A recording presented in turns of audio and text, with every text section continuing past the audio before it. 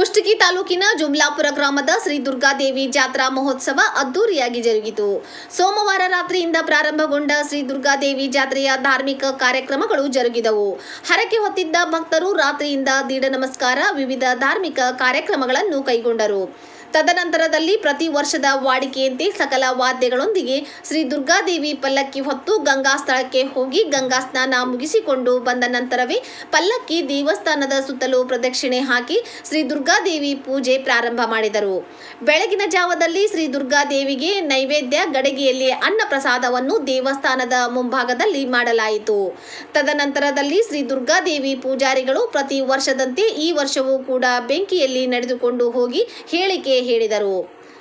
ಸಾಯಂಕಾಲ ಐದು ಗಂಟೆಗೆ ಸಾವಿರಾರು ಭಕ್ತರನ್ನೊಳಗೊಂಡಂತೆ ವಿಜೃಂಭಣೆಯಿಂದ ಶ್ರೀ ದುರ್ಗಾದೇವಿ ಉತ್ಸವ ಜರುಗಿತು. ಉತ್ಸವದಲ್ಲಿ ಡೊಳ್ಳು ಕುಣಿತದೊಂದಿಗೆ ಮಂಗಳಮುಖಿಯರು ತಲೆ ಮೇಲೆ ಬಿಂದಿಗೆ ಇಟ್ಟುಕೊಂಡು ನೃತ್ಯ ಮಾಡಿದರು. ಸಕಲ ವಾದ್ಯಗಳೊಂದಿಗೆ ಯುವಕರು ಹೆಜ್ಜೆ ಹಾಕಿದರು. ಈ ಜಾತ್ರೆಯಲ್ಲಿ ಊರಿನ ಯುವಕರು, ಮಹಿಳೆಯರು ಎಲ್ಲರೂ ಸೇರಿ ವಿಜೃಂಭಣೆಯಿಂದ ಜಾತ್ರೆಯ ಸಡಗರದಲ್ಲಿ ಪಾಲ್ಗೊಂಡು ತಾಯಿಯ ಜಾತ್ರೆಯನ್ನು ಕಣ್ತುಂಬಿಕೊಂಡರು.